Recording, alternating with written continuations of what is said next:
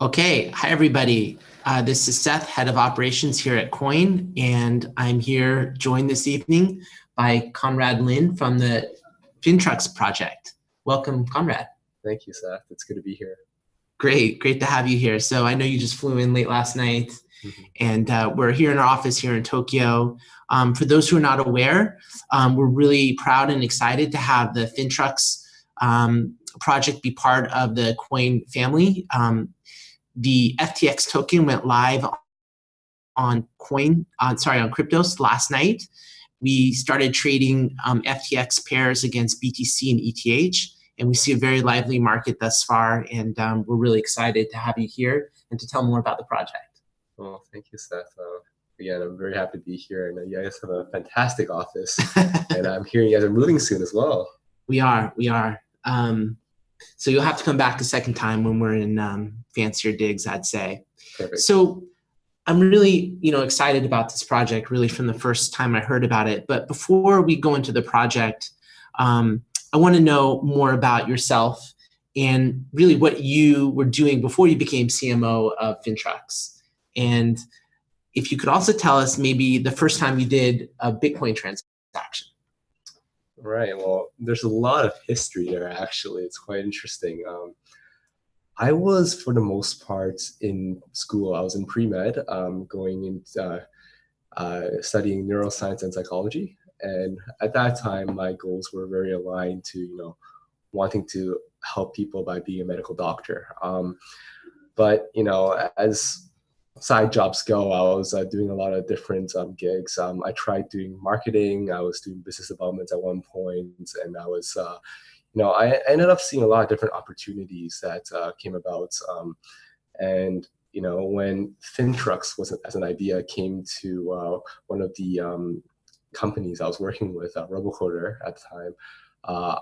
Uh, I, you know, I was offered a chance to help head it up and be the marketing lead or the CMO um, of that project and help bring it into the blockchain space. Um, for those that don't know Robocoder, uh, it's a, a, software company that's in Canada and it currently serves over 90% of the securitization market in Canada, which is bulk funding. Uh, pretty much all the big banks and insurance companies use our product, uh, and we manage several billions of dollars of assets for them. Now, um, we wanted to bring that uh, securitization um, essentially, you know, with having those, it's a bulk transactions, you know, selling bulk uh, loans to the banks and etc. And our system manages that process. That but, was more of a secondary market, right? Mm-hmm. Once the loans have all already been securitized. Exactly. And, you know, when you have a tranche that big of $10 million or more, you can do little things with that kind of money, like spreading the risk across all the different loans mm-hmm. so you make it safer for the lenders. Now, that's well and fine, you know, but essentially the banks don't have much control over what they're buying. And it's pretty much already secure loans. It's uh, loans, leases, you know, things that have collateral. Um, so uh, we saw that there's an opportunity to put that to scale and put it on smaller transactions. We're talking about you know anywhere from three thousand dollars to three hundred thousand dollars, and still have the benefits of securitization by spreading the risk across a certain uh, pool of the same class and same currency you know and essentially that's where the idea came about and you know we also realized that a lot of the um, lending products out there in the market uh, they don't really give power to the consumer and i like to say that because you know as a lender on um, any of those p2p companies you really only you know get a few options. You don't get to choose who your KYC vendor is. You don't mm-hmm. get to mm-hmm. choose your geographic area where you want to lend to. Mm-hmm. And most you can probably choose you know the risk um, you want to lend at and the ex- return you expect to get. Mm-hmm. But um, we want to change that model. We want to make it so that every lender can choose exactly which KYC agent they want to work with, mm-hmm. which um, credit scoring, credit decision,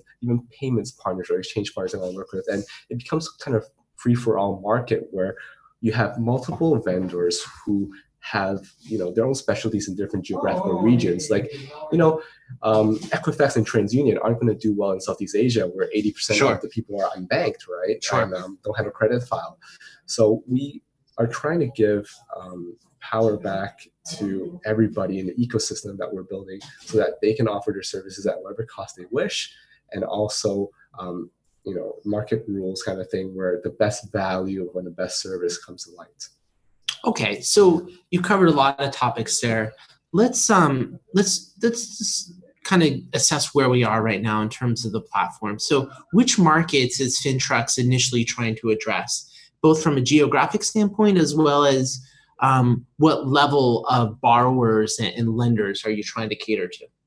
Yeah, so we're starting off in um, Singapore and Canada. Canada because we, um, the, the RoboCoder Corporation, the company behind the software of FintruX, is very well connected in Canada. You know, again, a lot of the banks are customers, insurance companies, and the like.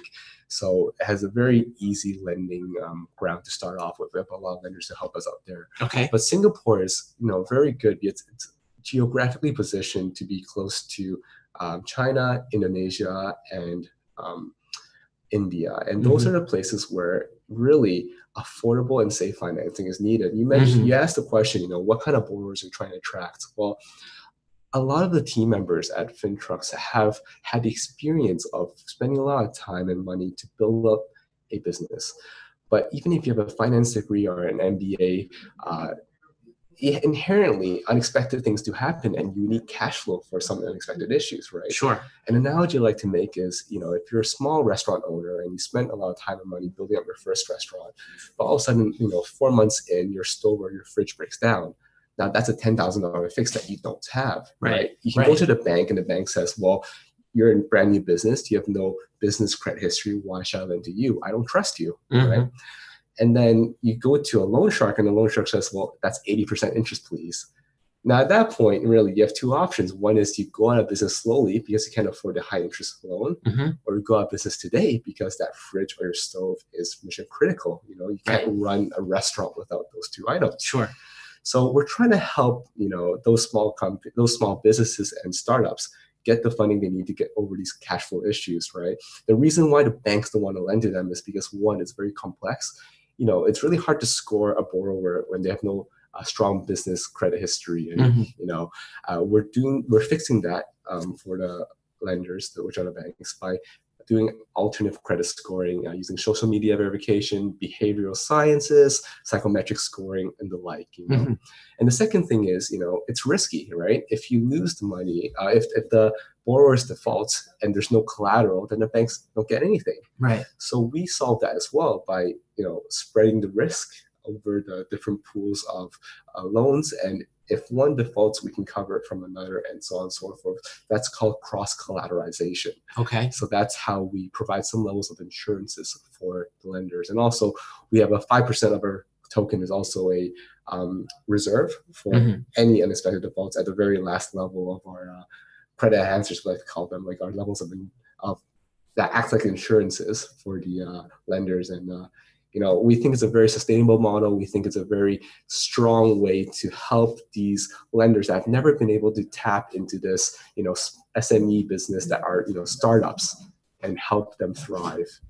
Okay so let's um that i mean it's really fantastic how you're trying to in many ways fulfill the same mission that we are here at QUOINE which is to help democratize finance and i think that's at core what you're doing um, Tell me about how the blockchain is playing a role in this ecosystem. Yeah, so you know, obviously, at one spectrum of it, it's a you know general ledger of things, right? It's a secure, immutability, blah blah blah mm. blah. People know this. You know, that's just the basic basic um, sure. benefit of blockchain. Sure. Uh, what we're doing actually is um, more than that. Uh, for one, you know, I mentioned we had several levels of you know credit enhancers, the mm-hmm. access insurances for mm-hmm. um, these lenders. Mm-hmm. And we envision one of the levels, um, pretty much you know the fourth or fifth level. That's how many insurances we have now. You think about that, um, to be our everyday token holders, right? Imagine that you don't have the funds to fund a loan by yourself, but you mm-hmm. still want to have a role in FintruX. Mm-hmm. Well, you can take your token, invest it into our platform, and have and act as a guarantor for a particular mm. loan. Right. Now you're earning a percent of the interest because now the lender is feeling safer, right? You're gonna your collateral is already covering that loan, and you know uh, you get to earn an Mm. interest rate on that. Now, that's one of our ways that we're using our token to benefit this ecosystem. So I just want to pause it. This is really interesting what you've done here. So what you're saying is that a, a, a, a an FTX holder can actually take a risk position in the lending process Correct. and essentially provide the collateral to facilitate loans in a borrower that they may believe in. They may not themselves have enough capital, Mhm. but they do believe in that borrower. They've done their research based on the analytics that you can provide on the platform. Right. And they're saying, I'm going to post my FTX as collateral, um, and that they'll take the first loss potentially if the borrower defaults. But by posting that collateral, they'll also be able to participate in some of the return on that lending facility. Correct. So right now, if you're trying to find a guarantor to back up your uh, loan, right?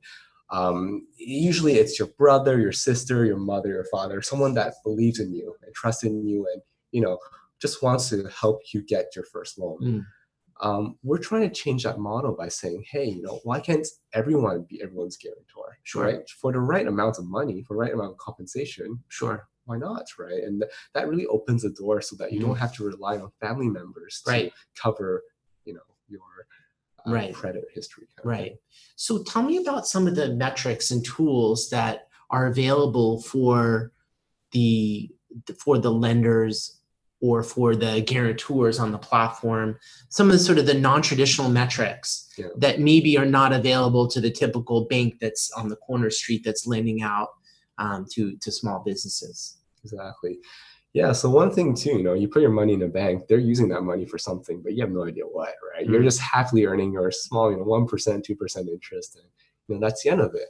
Uh, we're making it so that you have full control over who you're lending to. Obviously, you can set it so that you know ah, I trust FinTrust, whatever that it's in this, you know, uh, risk profile B, who is you know a medium risk uh, borrower. You know, for twelve percent interest, I'll lend to them no matter what, and Mm. power power to the platform, right? Mm. But on the flip side, you can also make it so that you're manually verifying each one. Think of it as like Airbnb. I'm not sure how many of our viewers use it, but there's Instant Book, right? And there's the, the ones where you have to kind of wait for the um, host to vet you and then say, "Oh, I want you as, our, as, Mm. as my guest." Okay. we're doing it kind of that way so where that you know if a lender so chooses they can see all the metrics about the borrower and this is including the um, uh, social media aspect the psychometric scoring behavioral sciences like one thing our partners have already found out which is very very interesting to me is if people do the same habit have the same habit every single day they go on the same bus exactly at 8 o'clock in the morning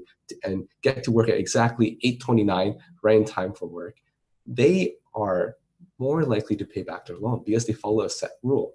They're going to Mm. follow a, um, a a precise payment plan. Mm. Every month, they're going to pay it back on time. Now, that's Yeah. just one of the many ways where we figured out how to use this kind of tracking Mm. to, um, you know, uh, build a credit file on people who don't have a file. Mm. Uh, on top of that, you know, natural Mm. language processing, right? You can see people, um, obviously anonymous data, right? But their text, their emails, etc. And if the borrower so choose so chooses to give this information to um, the KYC vendor, Mhm. then they can enjoy better interest rates because that can give the uh, the lender more security that hey, based on this um, analytics, you're a safer borrower. Now, obviously, the lenders won't know how to read all this interesting information, Mhm. right?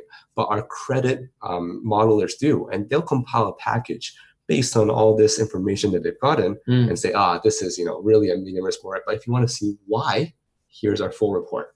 Mm. So that, that's how we're doing it. Do the lenders actually use some of the FTX tokens to pay for those enhanced credit reports? Or is that just simply part of the service and the ecosystem? Yeah, so I'm very happy you asked that question. so the token, um, on top of being, you know, as that, you know, level of collateralization, it's also our basic units within our ecosystem. What that means is everyone uses the token. The borrower and the lenders pay the token as transaction fee to the platform is very low, it's one percent, Mhm. um, to use our services Mhm. to be instantly matched to each other Mhm. the third party agencies that are on our platform. So I'm talking about KYC, identity, Mhm. AML, credit Mhm. scoring, credit modeling, Mhm. payments, and exchanges.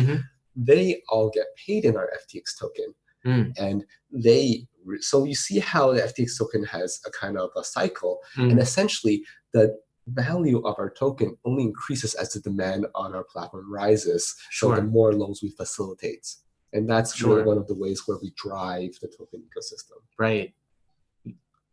Fantastic. I mean, it's um, it's incredible. So let's talk about the ecosystem Sure. and something we've talked about a few times before. And people will know that I'm a big believer in projects that have MVPs or close to having an MVP. Sure. So so tell us about the first um, where you are at in your life cycle in terms of bringing this ecosystem to life.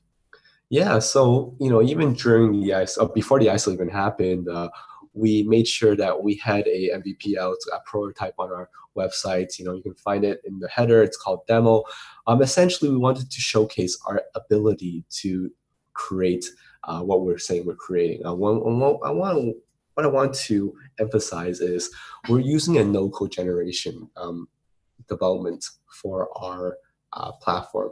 What that means is we want to make it so that any contract, smart contract that is, can be generated just by selecting the individual parameters that the lenders want to set out. So um, one example is, let's say the lender wants a risk package B. Again, this is in the middle of the road, you know, not that risky, but not that safe either. And Mhm. it's around 12% interest return, right? But they want to go in deeper. They want to say, hey, if they have a FICO score, which is, you know, a credit score, um, uh, that's over 720, well, I Mhm. want to give them a better rate because I trust that borrower more. Mm. So I'm going to give them, you know, two basis point, two percent off their interest rate. Now that kind of minute change can be replicated many, many times depending on what kind of underwriting they want to do. A lot of banks already do their own underwriting and they don't trust anyone else's, right? Mm. So we let them have a chance to plug and play their own underwriting and still have no problem generating a smart contract out to accommodate that parameter. That's the power of our no code development. And we made sure that our prototype showcases that. Right now, if you go to our prototype and you select any of the parameters, you can see that all of those change within the smart contract and it's instantly deployed on our private network. Now, Sorry, I just want to make sure I got that straight. So for our audience, Yeah. um, so what you're saying is that the the FintruX platform allows for underwriters that already have their own analytics and criteria for underwriting to actually create a smart contract onto the FintruX platform and fund loans that meet their existing criteria. Is Yeah. that right? and this is without coding. That's the beauty of it is that we can do that without coding. They simply drag and drop their parameters. They want to do minute changes on, on, on the uh, on the numbers, right? And then it's out for the open. And that's what we can do with our generation platform, this is incredible. Okay, right? incredible. Yeah. So moving over from that, you know, right now I'm very happy to tell our audience that uh, in our last week we funded our first loan. Um, it's a three hundred thousand dollars Singaporean loan uh, in, in Singapore, and that's just our first test case of the platform on our internal alpha to see how everything works, and it worked very smoothly. We're very happy with the progress. Um, moving on in the next two months, we're going to be facilitating 12 borrowers and six lenders on our platform to use on a daily basis, and we're integrating with all our partners uh, to make sure that happens. So this is why I've been traveling a lot. I don't know if people have been following my uh, tweets, but I've been in uh, San Francisco in the last two weeks. I've been in Malaysia, I've been in Singapore, now I'm in Tokyo. So you know, just a little ideas of um, where we're, We're going out for dinner after the same. all right, all right. But yeah, like we're, we're very happy that you know our development's going really, really well, and um, with the integration of our first integral partners, Mm. we're going to make sure that our Q4 when we go to have general availability is that everything's ready. You Mm. know, we have the first set of identity partner, first set Mhm. of uh, um, uh, payments, first sets of exchanges, first sets of you know uh, credit modelers, and they're all ready to work and uh, help facilitate this ecosystem. So you talked about the role of the FTX in the ecosystem. So it's the the borrowers and the lenders for being able to access the platform are paying a fee in FTX. Mhm. It's the other service providers, they'll be providing those services like the credit scoring and enhanced metrics, and you pay for those services in FTX. So it's a really well developed ecosystem. But in terms of the actual exchange of value between those funding the loan and those um, seeking the funding, what is the exchange of value that's occurring there? Is it still using fiat or are we exchanging in Bitcoin? Or, or using FTX? Like, how is that going to work? Yeah, so I'm happy you asked that, and you know, I think you noticed that I've mentioned exchange partners a few mm. times, right? So obviously, the easiest way to do things is if it's in the same currency. So we're going to prioritize same currency loans always. So if someone's trying to lend out in Singaporean dollars, we're mm-hmm. going to try to find a borrower that's looking for Singaporean dollars for him. So there's, sure. you know, no, it's not as messy. You don't have to do the exchange rate currency, you know, and there's a, there's a lot of uh, conversion rather, but there's a lot of, you know, minute things that don't make it as fluid or as fast as it could be if mm-hmm. the loan was in the same currency. Now, if it is in a different currency, however, let's say there's only you know a few um, lenders, they're all doing ETH, right? And the borrowers are wanting um, uh, Japanese yen, Singaporean dollar, Canadian dollar, US mm. dollar, what have you, then we'll have to do a conversion. And we're working with exchanges to do that. Um, one thing we're really uh, proud of is the way we yeah, the way we pick our exchanges is that we want to make sure they work within our ecosystem. We're not mm. arbitrarily choosing, you know, who has the highest volume, who has the most user base. That stuff's important, but we also want to make sure that they are open to working with us in our ecosystem to grow it together and scale together. And that's one of the main things we want to push. Fantastic. So, you know, I guess, you know, again, this is, I'm hearing a really clear theme here that you're really trying to democratize finance so you're breaking down the barriers of the traditional lender and borrower relationship, um, where a borrower potentially sitting in in Jakarta could access lenders that are maybe based in Tokyo. Correct. Um, but that brings up another important question, especially in the lending space, about regulatory framework and adherence to lending rules. Um, in the United States, for example, where I'm from, you know every state might have a different regulation about um, about lending so how are you dealing with the you know not only the technology problems here but sort of the regulatory adherence issues that any sort of lending platform has to deal with. Yeah so that's always the thing. Regulations is you know it's really important to make sure everyone's protected in um, especially in lending. Um, mm-hmm. um, so we 100% understand you know the need for it to be so scrutinized. Um, the way it works for us is that um, we have to get a P2P lending license, um, and that's for our platform. And we probably have to get that in every jurisdiction we operate. Um, that, however, gets facilitated much easier when we start working with our lenders, who are again uh, mostly going to be financial institutions, mm-hmm. talking about banks, insurance companies, finance companies, even P2P lending companies that already have their own licenses to lend. Mm-hmm and they can work on our platform to facilitate that process as well. So we're actively looking for local partners in different jurisdictions to work with us to build out our platform to um, use the license together to quickly expand across multiple geographical areas at once. I see. So it's really about partnerships to be able to scale up your business mm-hmm. um, horizontally. What about where do you see this going, Conrad? Do you see this platform potentially being used um, in the in at the investment banking level, or do you see this more for serving the unbanked or middle class people, or, or, or all of the above? We're trying to make it all of the above, and you know, our, our goal right now to start right is unsecured loans for small business owners. Mm right? Uh, as a small business owner, again, without any cash flow and especially without any collateral, it's really hard to get a loan. And we want to target that need. We want to help them get the money they need mm. and get it now, right? Not in three months, not in six months, like you know sometimes working with a bank would be, but instead within minutes. And mm. you know that that's the class we're trying to aim for. And uh, I think people have uh, seen too. We recently partnered with Sentinel Chain, um, who are trying to help the unbanked by helping the farmers, right, in mm. Southeast Asia, Bangladesh, nice. etc. And you know that you know creates a new opportunity for us where we can even start servicing the farmers who you know maybe had a bad year. Um, they need some uh, cash flow to um, tide over the bad year of um, crops they they had um, or you know maybe one of their cows died and they need to get a new one. Those are the kind of things we're exploring and really the beauty of the ecosystem again i keep hammering this but to us what it means is we're working with partners working with as many people as possible to serve as as many as people as possible mm. right we don't want to hold it all to ourselves we want to expand diversely And really, any new company that partners with us give us a new access point into a whole new market that you know, we probably couldn't get to ourselves. Mm. So we're very happy that we have this opportunity to meet all these fantastic people in the blockchain space and the traditional space that want to work together with FintruX and grow this together.